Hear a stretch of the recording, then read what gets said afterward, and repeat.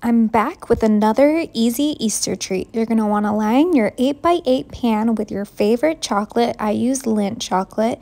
Then I know Peeps are controversial, but I love them. You're going to want to grab two packages of Peeps and lay them right on top of those chocolate bars just like this. Two packages should be just the right amount.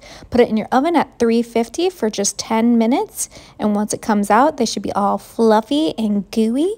I'm going to use some graham crackers because this is a s'mores dip. Just grab your graham cracker and dip in. This is so good and so delicious, and it's the easiest dessert you could ever make. Enjoy!